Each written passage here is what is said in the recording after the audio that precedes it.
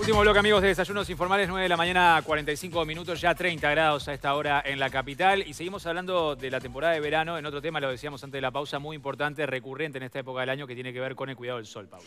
Sí, porque como les decíamos más temprano, dos personas mueren cada semana, dos personas por semana por cáncer de piel. El número es, como impactante y además recién estábamos hablando con la persona que ya les vamos a presentar, este, la doctora que ya les vamos a presentar, de que es un número que crece permanentemente. Y la causa mayoritaria es la exposición al sol y también eh, lateralmente el uso de las camas solares, que también es parte de este, de este crecimiento. Eh, bueno, nueva temporada de verano, lo estamos viendo todos los días, las playas repletas, en las horas prohibidas, las playas repletas, incluso con niños, incluso con bebés también lo estábamos hablando.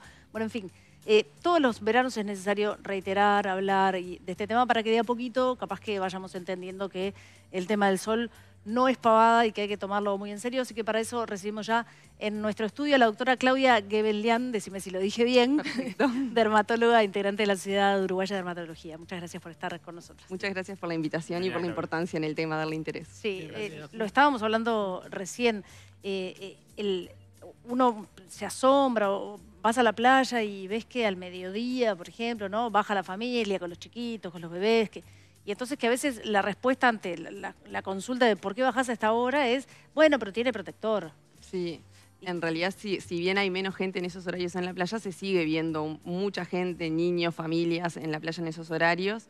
A veces dicen, bueno, es el horario que puedo, son unos días de vacaciones, pero en ese horario es cuando es más alto el índice de radiación ultravioleta, entre las 10 y las 4 de la tarde, y por eso es que ahí está totalmente, no, está recomendada la exposición solar a pesar de usar las medidas de sombrilla, protector solar, ropa, todo igual. El filtro UV, todo lo que tengas puesto, la sombrilla, todo, es la peor hora para exponerte al sol. Exacto. Se amplió ahora, porque es de 10 a 4, decimos más temprano que en una época era de 12 a 4, de 11 a 4. de 11 y se fue acortando ese nivel. Igual no se sigue cumpliendo mucho, así que si ahora dijéramos hasta las 12, yo creo que hasta la 1 igual estaría la gente expuesta y en realidad es importante porque las protectores, los protectores solares, que a veces hablamos mucho de eso, es un complemento a la protección solar que va también con el uso de la sombra, la ropa, en los niños sobre todo, también vestirlos, lentes de sol, gorro. Esas medidas son incluso más importantes que el protector solar, que tiene que ser 30 o más, para proteger bien.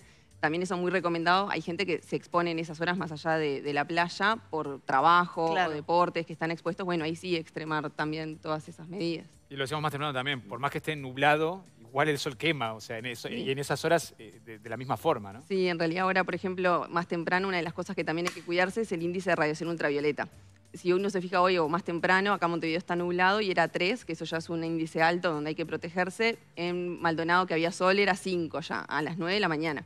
O sea que eso más cerca del mediodía va aumentando y en estos horarios no está recomendado la exposición. ¿Qué índice pasa a ser riesgoso ya? 3, ya más de Ya a partir de 3 es riesgoso. Sí, y más de 7 está totalmente eh, no recomendada la exposición. Eh, sabemos que hay distintos tipos de cáncer de piel, pero para hay una generación que es la nuestra más o menos, en la que cuando éramos chicos, el sol no pasaba, o sea, pensábamos que no pasaba nada, hoy sufrimos las consecuencias, tenemos lunares, tenemos que, que controlarnos. ¿Cuándo es el momento en el que un lunar, por ejemplo, o una marca en el cuerpo hace que haya que ir al dermatólogo a, a Bueno, puede ser una cosa muy fácil, es algo nuevo, algo que cambia o algo que llama la atención. Algo que no estaba ahí o le parece uno raro uno o a otra persona, la pareja, amigo o algo le ve algo raro. Eso raro ya está. Y después las recomendaciones son o heridas que no, que no curan, por ejemplo, una, una lesión que, ah, me lastimé y no cura, no cura, no cura. Eso tiene que llevar a la consulta y después la clásica regla del ABCD en los lunares sobre todo, que es la A de asimetría sobre todo, que sea simétrica, que tenga disforma rara o los colores sean distintos dentro de una lesión. La B los bordes, que también sean irregulares. La C los colores, los cambios en el color, colores más oscuros, colores blancos o muchos colores en una lesión. Y la D, el diámetro, cuando lesiones que no eran grandes, son más grandes de 6 milímetros, eso también tiene que llamar la atención. Y la E de evolución, que es eso que decía al principio del cambio algo que está creciendo muy rápido, raro. Es importante porque, perdón, porque son, es un tipo de cáncer que es eh, es visible. Curable, digamos, de alguna forma. Claro, ves el lunar, consultás y, es posible que, bueno, que una intervención temprana... Sí, el cáncer de piel es un cáncer que, bueno, es eso fácil, se ve. Se ve. Y aparte, cuando lo encontramos en las etapas iniciales, tiene hasta el melanoma, que es el, peor de los cánceres, tiene hasta un 95-98% de índice de curación. O sea, detectado en etapas tempranas, se cura.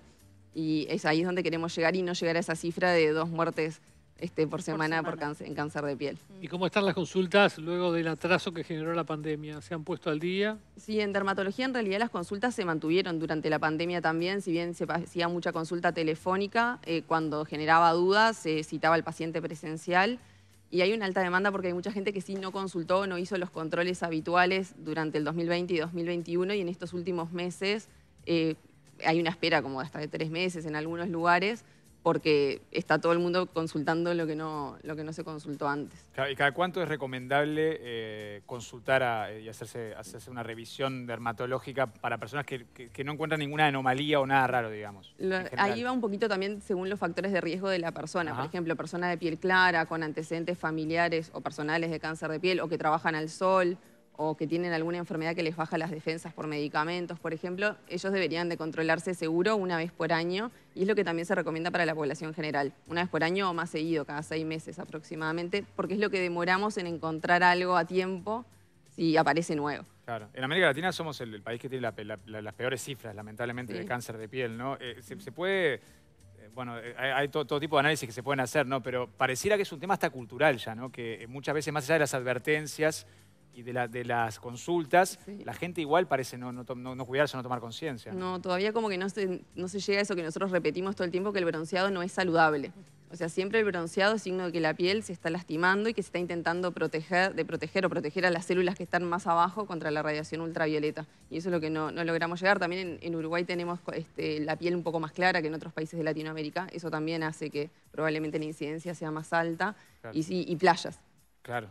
Lo que pasa es que al mismo tiempo hay una cantidad de gente a la que le recetan vitamina D por la falta de exposición al sol. Entonces ahí uno queda entre dos, entre dos fuegos y es difícil también. Bueno, este igual ahí tenemos ya bastante acuerdo con los endocrinólogos, que antes que no, la, eh, la vitamina D es importante y eso estamos todos de acuerdo, pero es muy errática la absorción por la piel por el sol. O sea, uno no sabe que si me expongo tanto tiempo voy a absorber si la vitamina D, incluso después de los 40 años, ya ese mecanismo no funciona muy bien y aparte, la vitamina D es barata y se puede tomar y dosificar bien, entonces es más fácil tomar la vitamina D y mucho menos riesgoso que, exponerse al sol por eso. O sea, no es una excusa para tomar sol, mm. eh, exponerse, eh, para absorber la vitamina D. Eh, hablábamos hace un rato del tema de los niños, porque es lo que a uno en general le llama la atención cuando, cuando vas a la playa y ves que hay nenes chiquitos a las horas malas.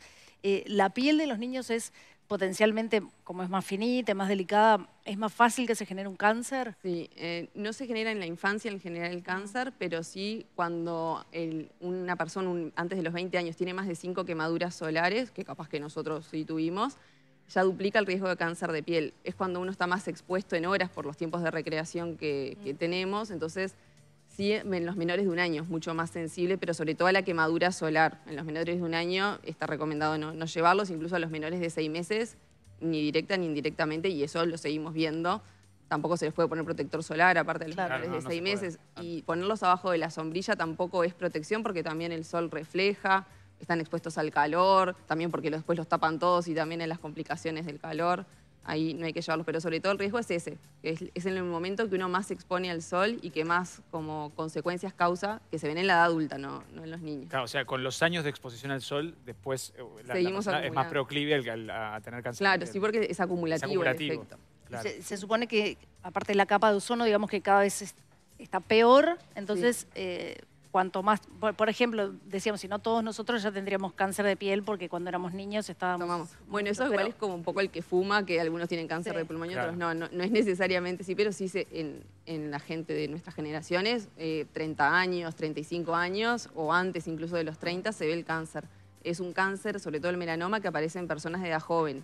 No es como otros que aparecen después de los 60, de los 70, aparece en edades jóvenes. Y eso también es preocupante. desde, la Sociedad de, Dermatología, eh, para ustedes, eh, ¿hacen falta más políticas públicas para atender esta situación, sobre todo en cuanto a la prevención? Sí, este, bueno, un poquito los objetivos de la campaña de este año eran eh, la implementación de, una, de un programa nacional de cáncer, sobre todo dirigido también para, mm, para controlar otras cosas como el deporte o trabajar con otros ministerios en la prevención.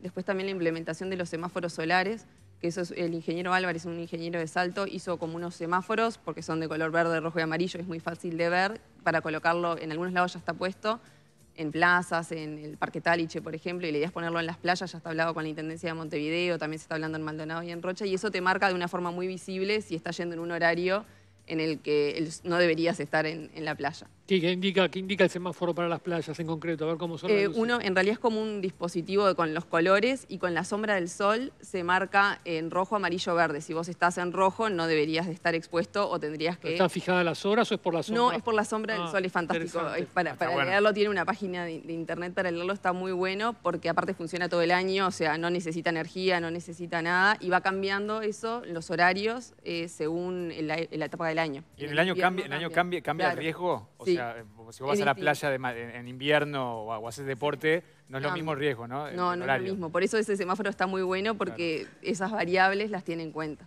O sea, Pero además está buenísimo porque si estás en la playa y te das vuelta y ves el semáforo que está en rojo, por lo menos, un poquito de eh, claro, capaz que vos no tenés tanto calor, no tenés el reloj, Claro. yo qué sé, bueno, está. Y en Pero ahí te- lo te- estás viendo, sí. Claro. Incluso el- con las nubes también se ve igual la sombra y, y se marca. Y el tema, Claudia, con, con las camas solares eh, también, también generan un riesgo, ¿no? Sí, ese es el tercer punto de, de la campaña de este año, que es implementar una normativa, una regulación en el uso de camas solares, como ya es en muchos países del mundo. eh, está controlado, en Brasil, por ejemplo, está prohibido. Nosotros lo que queremos es la, por lo menos, prohibición en los menores de 18 años, también en las personas de piel muy clara, y después también la obligatoriedad de dar la información correcta. Hace poquito sacamos un comunicado también porque en distintas páginas de, proveedores de camas solares ponían que no generaba melanoma, cosas que son mentiras, entonces sí, eh, la obligación de poner cartelería, de explicando los riesgos a los que uno se está enfrentando, formar consentimiento que también explique eso. Pueden generar cáncer y melanomas, o sea, Sí, melanoma. es el peor cáncer Sí. de piel. Sí, está, eh, con una exposición ya una vez en la vida cama solar ya aumenta ese riesgo y cuando es antes de los 35 más, por eso intentar prohibirla en las edades tempranas